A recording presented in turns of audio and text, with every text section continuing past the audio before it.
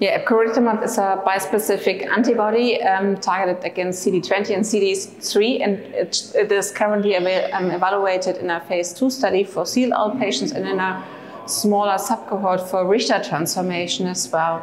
Um, and as we have seen already data for de novo DLBCL as well as, well as other lymphoma types, is a very interesting compound. Um, but um, I think the interesting question, particularly in CLL, where we know that patients have a T cell defect, is how active this agent will be here.